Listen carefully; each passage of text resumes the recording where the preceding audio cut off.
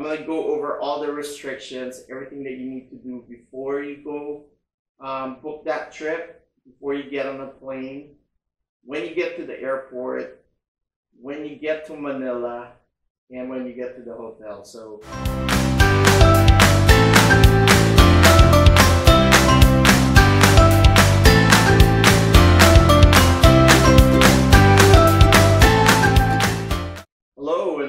From the Philippines. Yes, I am finally in Manila. Um, it took a while to get back here because of the COVID restrictions, but after waiting so many months, I was finally able to book my trip and somehow made it here. Um, the experience wasn't so smooth for me, so I want to share some information that'll make anybody traveling to the Philippines. I want to make sure that your experience is a lot better than it was for me. Not really complaining, um, you know, people were just doing their jobs. But want to uh, show you everything to prepare you for the trip, okay? So stay tuned. All right, I made the list because I want to make sure that I don't forget. So if I'm looking down, I'm reading the list. Again, I want to give you as much information as you need um, to help you with your trip. So the first thing um, that I want to say is that this video is for people who are considered balikbayan. So what is a balikbayan? Uh, that means you were born in the Philippines, but you or your family um, decided to migrate to somewhere else and became a citizen of that country. In my case, um, when I was 14 years old, I decided I wanted to study in America. My whole family actually migrated to the United States we became U.S. citizens and got our blue passport, so we don't no longer have red passports. So now we are considered balikbayan. All right, that's very important. Um, it's important because the Philippines is on a current strict restriction on who's coming into the country. You only come to the country if you have a Philippine passport, a red passport, or if you have proof that you were actually born in the Philippines. I'm going to go over all the restrictions, everything that you need to do before you go um, book that trip, before you get on the plane, when you get to the airport, when you get to Manila, and when you get to the hotel. So everything is going to be covered. This is going to be a longer video than my normal. I want to make sure that I give you all the information that you need. All right. The first thing uh, for balikbayans is you want to show proof that you were actually born in the Philippines. So um, in my case, my mom was very meticulous. I was visiting, visiting her a couple of weeks ago, and I said, hey mom, you have a copy of my birth certificate? It disappears for like two minutes. And two, minutes, two minutes later, she goes, here you go. So, yep, so you need a um, proof of birth. So in my case, I brought a uh, my original birth certificate. Really, what's preferred is get a copy of your birth certificate that is certified by um, the Philippine government. We have what's called PSA. I'm gonna create the link down below so we don't have to search for it. Um, they'll be in our in the description of this video. Click that link. It'll take you to, to their online process. Basically, you register with them, give them all the information, you tell them how to send your certificate. Um, even though I had, I knew I was going to get my birth certificate from my mom, I still wanted to go through the process to see how it was. So fortunately, my mom had the birth certificate because I never got the uh, copy copy of my birth certificate from PSA. Um, in their defense, they are really short-handed right now because of COVID. So um, the process is slower. It's a little funny because um, this morning I was watching TV and there was actually an ad from PSA saying, "Hey, you need a copy of your birth certificate, you know, call us or go through the online registration and in a couple of days you'll get a copy of your birth certificate. That wasn't the case in my uh, in my personal case. So I don't know uh, what the normal is, but again, the link is below. You want to use their service, go ahead and do so. Um, the, your other option is producing your old passport. So I have no clue where my Philippine passport is. I think I stored it somewhere, um, but I never thought that I would need it again. So um, I might look for it when I get back to the States. But yeah, so birth certificate or uh, Philippine passport. That's what you need. Otherwise, uh, you're probably not going to be allowed in the country or even leave the airport because they, they do check it. So I'll, I'll go over the complete process. The second thing that you need to know is that you also need to pre-book a hotel stay in a hotel that is sanctioned officially by the Philippine government. Again, there's a, a list. Um, and in the Philippines, you know, there is a lot of hotels to choose from. Again, I'm gonna post that link below. Um, that way you can just click it and get the full list. So you want to make sure that you have confirmation from the hotel that you're booked for the full 10 days. So the Philippines is under strict quarantine um, and they are requiring you to be at your hotel for the full 10 days. Um, I'll go over, you know, what that means in a minute. And I also have some maybe exciting news at the end of this. So please stay tuned. Um, I'll share that at the end of the video. Third thing you want to do is you want to pre-register with the Red Cross Philippines um, to pay for your COVID testing. So um, because of the laws here, on the sixth or seventh day of your hotel quarantine, the Red Cross will send somebody to your hotel to do your nose swab for your COVID testing. So um, I'll tell you how that happens in a minute. But basically, you want to make sure you register for it, and then you print out the form uh, saying that you have registered because you're gonna need it later. So pay attention. Um, the next thing on my list is you want to make sure that you have a round trip ticket. So normally for balikbayans, you have you know a full year. You don't really need a visa or anything. If you're a tourist, uh, you can stay in the Philippines for 30 days, but if you're staying longer, you need the visa. Um, right now, again, it's stricter. Uh, I think they're limiting the time even for balikbayans. Um, but make sure you have proof that you have a trip out of the country. It shows when you're getting into the country and when you're coming back. All right. Um, and then this is important. So when I got to Atlanta, um, and mind you, my flight was going through South Korea. One of the flight crew uh, went up the podium and said, oh, by the way, if you don't have proof that you had a negative COVID test within the last 72 hours, we're not gonna let you get in the plane. Of course, my heart was pumping because I looked through all the requirements for the Philippines, but I didn't look at any requirements for South um, Korea. I didn't get my um, my COVID test, so I had to go up the podium and you know crossing my fingers I talked to the flight crew and she said, yep, you only have transit if you're not going out of the airport and staying in Korea for any number of uh, hours or days, then you don't need that COVID test. So, phew. But my recommendation is check with your airline because I don't know if other layovers have um, stricter, especially if you don't have a direct flight from wherever you're coming from into Manila. So find that out. All right, so um, just really what I want to tell you is get to the airport early. So I flew out of Atlanta and you know I forgot that it was Memorial Day weekend and the airport was packed.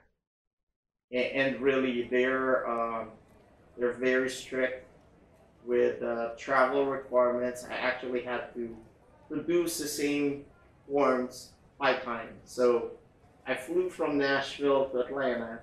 They check all the documentations in Atlanta. They checked the birth certificate. They checked the um, that you have reservations in the hotel. They checked the, to make sure that you have a round trip ticket. And then when I got to Atlanta again and checked my bags, they, they checked the same documents. Um, and then they checked it again. Uh, Delta Airlines at the gate, to check the same documents.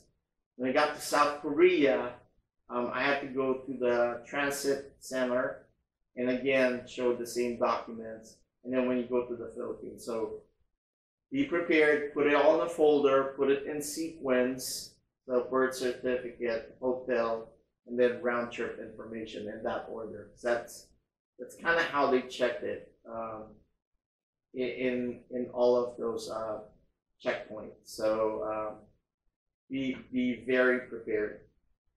All right, so let me tell you about what happens at the airport. So again, I like I said, I flew from Nashville into Atlanta. I had to produce the documents, and they checked my bags.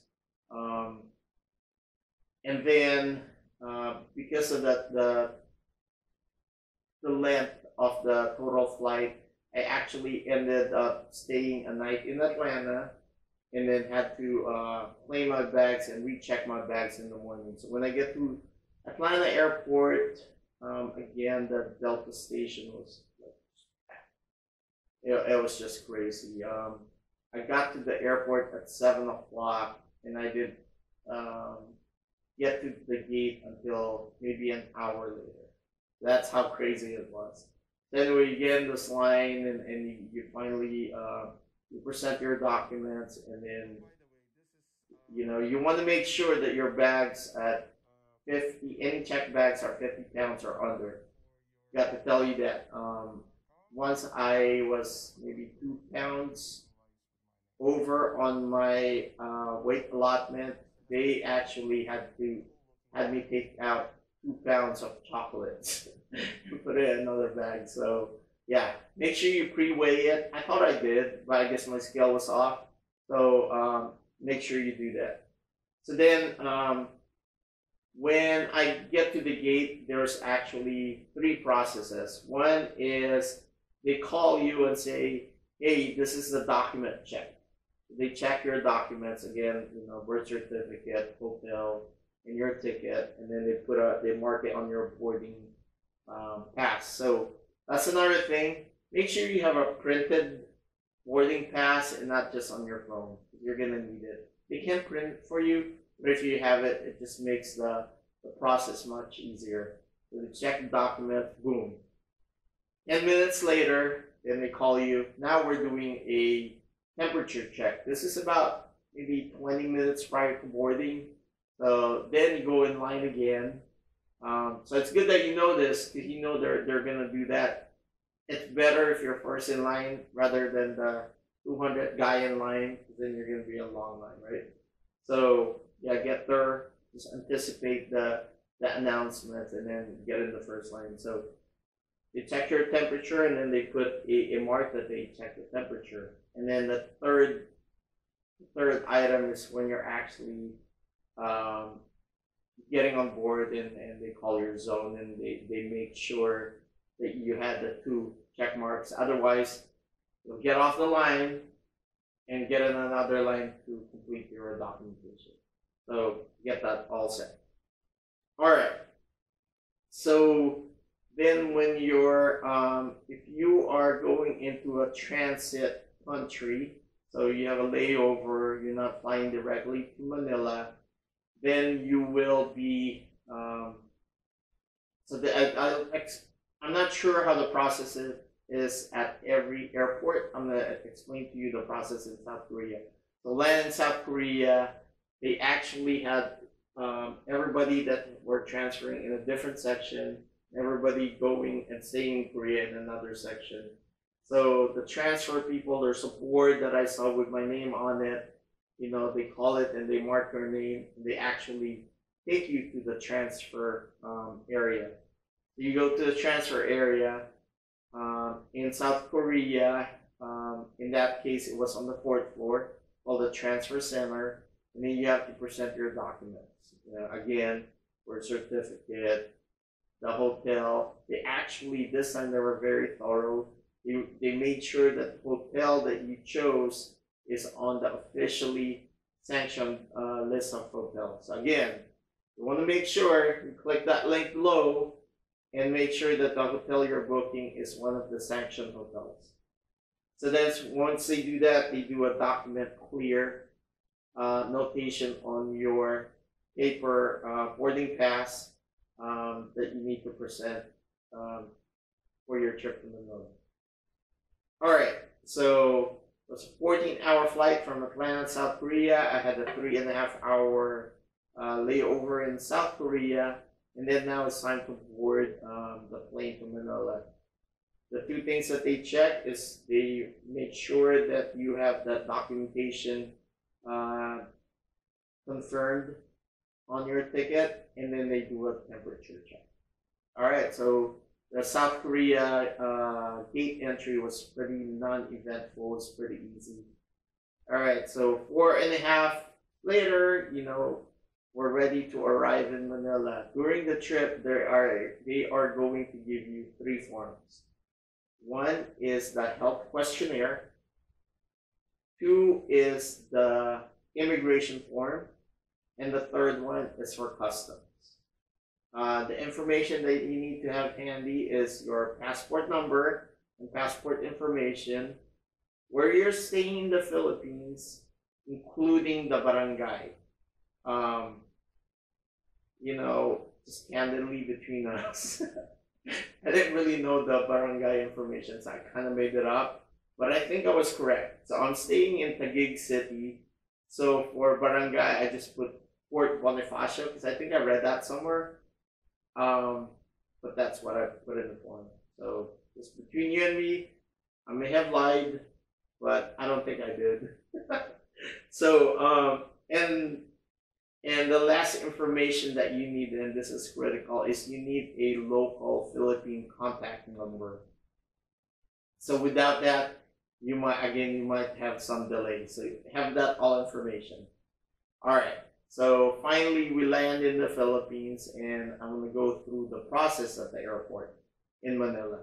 So you get out of your plane, and the very first thing that you need is that you see is there's a mini barricade. Uh, there's two booths, and then there's one lady. There's basically three lines for health questionnaire. Uh, it's by IATF, um, and, and basically it's for COVID control. So you go, go there and you hand them your uh, health questionnaire form. Again, they check the information, they check the barangay information. She didn't say anything about it, so I think we're good with that. And then she asked me for the contact number. So that's the important piece. Because I didn't have that phone number. So then I was texting my aunt and my uncles to say, hey, I need one of your phone numbers to fill in in this because you do need a local Philippine phone number and obviously my uh, US phone number won't work. I put that in and then we're good to go. All right, once you get out of that, uh, that line, that barricade, you then um, go into the temperature check. Um, Manila is actually more sophisticated than the temperature checks in both South Korea and um, Atlanta. They in Atlanta and South Korea they had the handheld digital non-touch um, temperature that they put on your you know forehead. Uh, they don't touch it, but they just put it in front of it.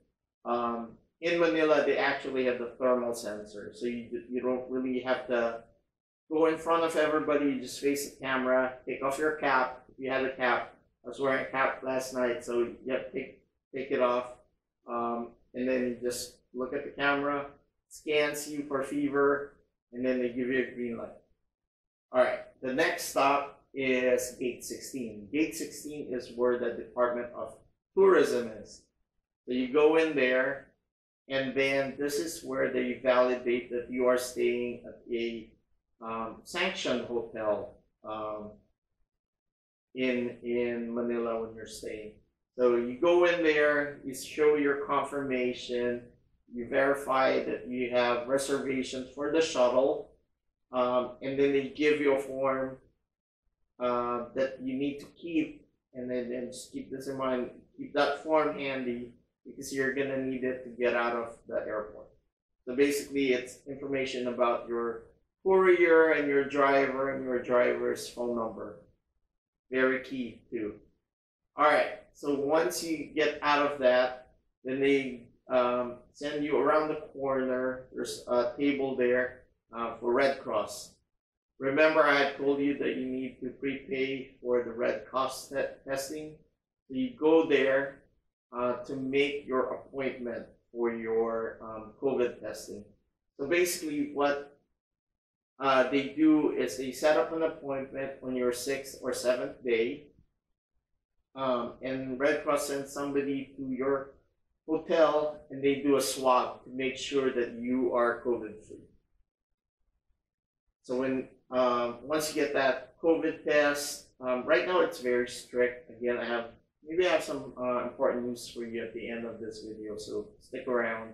But right now, whether you test negative or positive, you're required to stay at your hotel for the full 10 days. So uh, keep that in mind. So Red Cross, pretty easy. They're very friendly. That's one thing I love about the Philippines. Everybody's polite and everybody's very friendly. You know, people say sir, kuya, and just they, they, they really want to help and, and they're there for you. Um, you know, I, you know, just candidly, I didn't register, pre-register for Red Cross. I had to do that all um, while I was there. That's why I, I recommended you doing it because um, they were asking me, "Do you have your Red Cross voucher?" And I said, "I, sorry, I didn't know about it, even though I researched it. It didn't show in my research, but yeah, the link is down below. Uh, make sure you do that." So anyway, after that, next stop is immigration. Immigration is then when you have to show your proof of birth uh, in the Philippines, either with a birth certificate PSA approved um, is the preferred method in our passport. In my case, they scanned my passport, um, but maybe a minute. They showed me uh, proof of uh, birth, showed them my birth certificate, and they said, "Yep, you're good to go." So that was really simple. The last step before you know getting out of the airport for the shuttle service is um, customs. Again, that was very non-eventful. Um, all I had were, you know, things to give um, some of the people that I love here in the Philippines uh, that does so much for me. Um, you know, I'll, that'll be another video because I just want to share like what this experience is um, is about and, and how wonderful and why I love coming to the Philippines. But anyway, I, I brought some stuff and you know it's all personal effects. Otherwise, I have nothing to declare. So the the customs uh, stop was was pretty flawless. You know, maybe thirty seconds, um, and then you're out. So then you're walking towards the gate. You're actually not allowed to go out of the airport. You have to give the voucher the courier voucher, whoever your um, shuttle service is, they'll take you from the airport to your hotel. You have to give that to one of the guards. We call the driver. The driver gets out of his or her shuttle, um, walks up to you, and then takes your bags into the shuttle. You want to make sure you don't go anywhere else.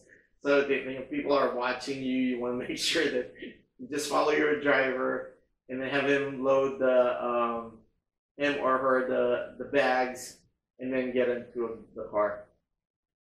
So um, I'll, the last piece of this video is I'll tell you what happens at the hotel. So um, the hotel that I chose was about 20, 25 minutes um, from the airport. There wasn't any traffic at all, so it was great because I came late. And late nights in the Philippines, obviously, there's no traffic. Um, so we got to the hotel, really nice hotel. I recommend it. It's uh, I'm staying at the Vivere Hotel. here in Muntinlupa City in Alabang. And it's right across South Mall. So if you've ever been to the Philippines, you know that that's one of the good malls here in in this part of uh, Metro Manila in Alabang.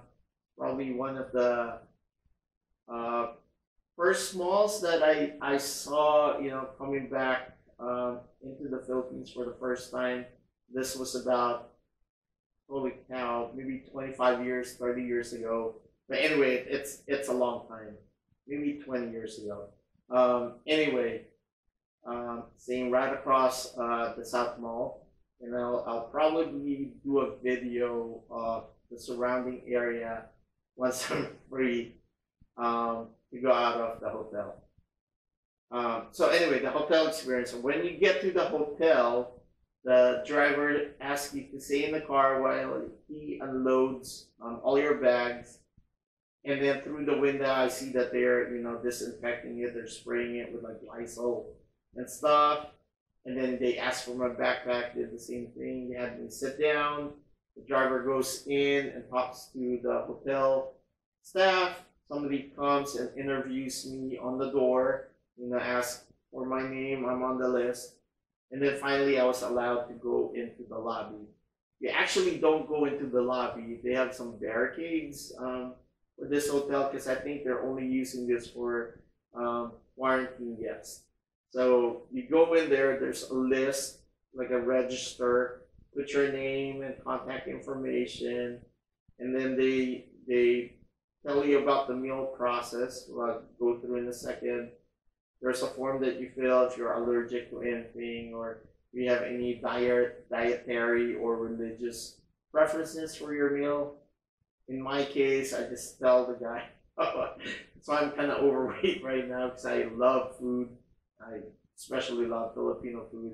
So um, I had no problems with that. So then you don't really go anywhere. On your left is the elevator. So we go from the car, this mini section of the lobby, right into the elevator. They they really don't want you to go anywhere. They they mean business, you know, this quarantine stuff. So then they uh, take you to your room.